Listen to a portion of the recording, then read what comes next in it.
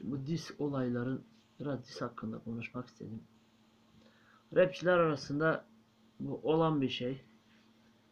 Yani sataşma adamlar şarkı yapıyor. O ona bu buna bazen işin bokunu çıkartıyorlar. İşte tabi bu popçular bunu medyada yapıyorlar. Yani medyada işte birbirlerine o paparazzi programlarıyla onlar da anlaşmalı yapıyor veya anlaşmadan birine sinir oluyor. O şarkılar vasıtasıyla değil de popçular böyle daha çok programlarla bunu yapıyor. Ama velhâsıl bizim rapçiler tabi şarkı boyutuna yani şarkılarla diz şeklinde adına da diz veriyor. Bazen küfür ediyorlar. Bazen onu yaptığı rapi eleştirebiliyor. Yani fakat son zaman bakıyorsun tabi yani bıçaklanma olayları yaşandı arkadaşlar. İşte kontkarı bıçaklandılar.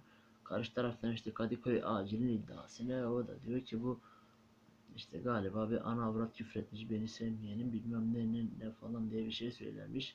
İşte sebep o diyorlar. Tabi işin üç yüzünü dahi onlar biliyor. Kadıköy aciller biliyor. işte kontkarlar biliyor. Orada çok fazla hani ben işin iç yüzünü bilmediğim için biz de internetten takip ediyoruz. Çok fazla yorum yapma, yapmak istemiyorum. Şimdi en son e, tabi bu Joker'le Tepçi'nin de bir olayı oldu. E, Joker'in galiba akraba çevresi Tepçi'yi aramış, küfür etmiş. Yani tabi diz atılıyor.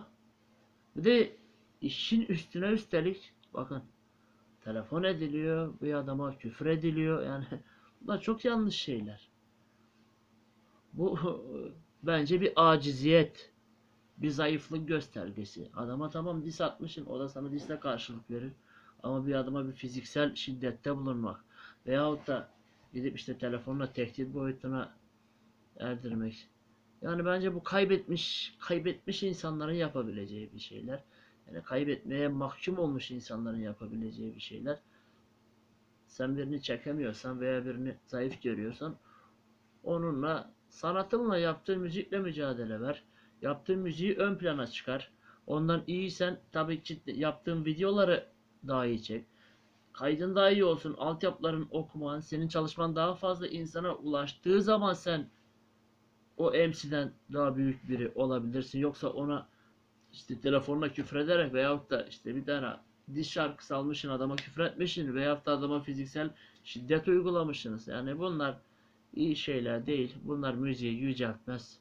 Aciz, korkak insanların bence yapabileceği bir şeyler. Müzik kardeşliktir. Müzik müzisyenlerin şöyle bir görevi de var. Müzisyenler gençlere, çocuklara örnek de oluyor aynı zamanda. Yaptığımız şarkı sözlerimizle, davranışlarımızla yani müzisyenler öyle basit basite indirgemeyin yaptığınız davranışları. İşte ben ona küfür ettim, onu yaptım. Bugün işte Joker'in mesela yaptığı o akrabasına demiş tepkiye küfür etmiş. E seni iyi kötü takip eden bir kitle var. Bunlar senin yaşın büyük olabilir. Bunlar 12, 13 yaşında, 11, 12 yaşında çocuklar. Bunlar etkilenerek e tabi seni yaptığın davranışları sergileyecekler. Belki de daha kötüsünü yapacaklar. O yüzden de yani dikkat etmemiz gerekir böyle şeylere. Gençleri işte uyuşturucuymuş, alkolmüş, kötü alışkanlıklara, işte kavgaya, yani bu ve bunun gibi hoş karşılanmayan toplum tarafından, özellikle bizim Türk milleti tarafından hoş karşılanmayan davranışlara gençleri bizler teşvik etmemeliyiz. Müzisyenin müzisyenlere burada çok büyük görev düşmektedir. Çünkü yani genç bir adam ergenlik çağında işte 10 yaşta, 11 yaşta, 12 yaşta, artık 6-7 yaşta da dinliyorlar. Takip ediyorlar. Hepsinin elinde kameralar, telefonlar. Bak senin giydiğin elbiseye, senin konuşma üslubundan, senin tavırlarına her şeyini taklit ediyor. Her şeyini izliyor. Özellikle de müzisyenlerin. Bakın bu gençler, bu çocuklar ve etkileniyorlar. Az etkilenir, çok etkilenir. Tabi bu tartışılır. Ne seviye? Bu da üniversitelerin araştırması gereken bir konu. Ne kadar etkileniyor? Bir çocuk işte bir, bir sanatçının davranışlarından bence çok etkileniyor. Çünkü ben şimdi Amerika daha önce de videosunu yaptım. Amerika deyince aklıma ne geliyor? Rap müzik geliyor. İşte e, Michael Jackson geliyor. Coca-Cola geliyor. E bunların hepsi zaten birbirine bağlantılı. Ben hatırlıyorum ilk defa hayatımda kola gördüğümde üzerinde Michael Jackson'ın resmi vardı. Evet Michael Jackson'ın resmi vardı. Yani kolalar böyle yayıldı.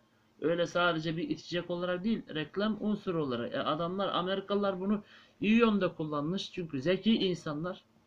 Kendi sanatçısını, kendi parlattığı sanatçıyı güzel bir reklamla taşlandırmış, güzel bir marka yaratmış. Ve bizim müzisyenleri de böyle güzel projelerde, böyle güzel bizim memleketimizin ürünlerini, bizim memleketimizin markalarını parlatma görevi düşmektedir. Yoksa birbirine bok atmak, küfür etmek, sokak ağzıyla sokak karşısı gibi bunlar yakışmaz. Bunlar bizim milletimize, toplumumuza iyi şeyler değil. 5.46 oldu. Kapatıyorum videoyu.